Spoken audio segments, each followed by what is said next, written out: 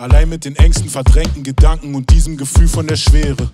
Aufgaben aufgeladen, permanent abgelenkt, hoffentlich füllt das die Leere.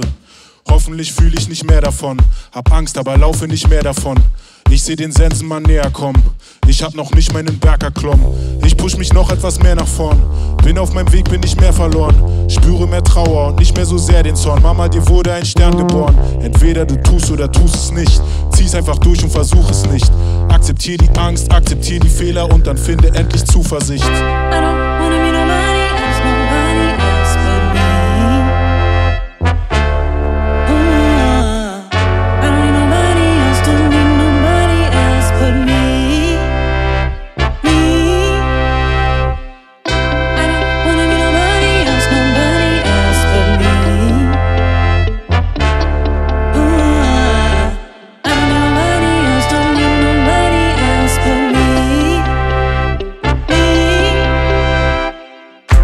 Chaos in meinem Kopf, Krieg im Innern. Was ich aufgebaut habe, liegt in Trümmern. Ich habe Angst, es wird noch viel, viel schlimmer. Ich bin gefallen, bisher was nie für immer.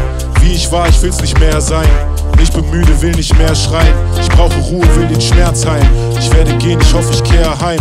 Ich habe noch einen Weg vor mir, gehe durch das Fitzgetal und hoffe nur, ich finde meinen Pfad. So viele Dinge, die kamen und gingen, ich sah viele Dinge nicht klar. Nein, ich bin noch nicht da, weiß nicht, was ich empfinde. Ich höre eine Stimme, die mich fragen, wer ich bin und bin ich wer. Ich frage mich, bin ich in Gefahr, bin ich krank, bin ich Arzt, bin ich in der Lage, mich zu heilen, bring ich es bis dahin oder bin für immer in einem Wahn? Ich bin nicht aus Stahl, ich habe eine Qualen, ich empfinde Rage, ich empfinde danach Scham, ich besinne mich, habe ein Kind, ich muss klarkommen, aber glaube, ich habe immer noch Schaden von ein paar Dingen, die waren. Ich glaube, ich brauche eine Auszeit von mir selbst. Ich glaube, ich brauche Zeit mit mir selbst. Fühle mich nicht frei in der Welt, finde Freiheit allein in mir selbst.